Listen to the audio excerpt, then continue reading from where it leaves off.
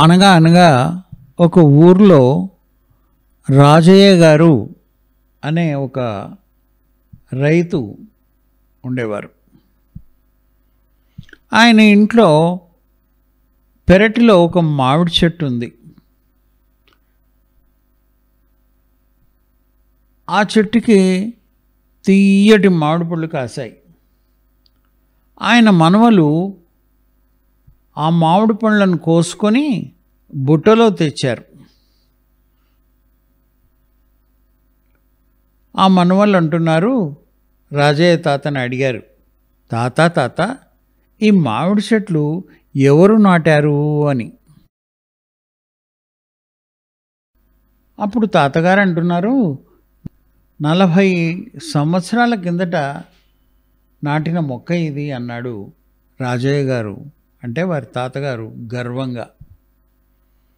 ఎందుకు నాటావు తాతయ్య? అని అడిగారు ఆయన మనవలు.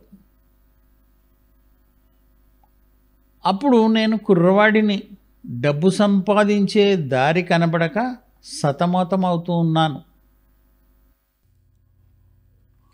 అప్పుడు మా బాబాయ్ నువ్వు ఎక్కడ ఉన్నావో అక్కడి నుంచే భాగ్యరేఖ మొదలవుతుంది అన్నారు. నీవు చేయవలసింది ఒళ్ళొంచి పని చేయడమే. నీవు నిలబడిన చోటే తవ్వడం ప్రారంభించు. నీవు కోరిన డబ్బు దొరుకుతుంది అన్నాడు. ఆయన చెప్పినట్లు చేస్తే ఏదైనా నిధి దొరుకుతుందేమో అనుకున్నాను. ఆ రాత్రే నేను నిలబడిన చోటనే తవ్వడం మొదలుపెట్టాను. ఎంత తవ్వినా ఏ నిధి దొరకలేదు. మరునాడు ఉదయం మా బాబాయ్ నేను తవ్విన గోతిని చూసి పగలబడి నవ్వాడు.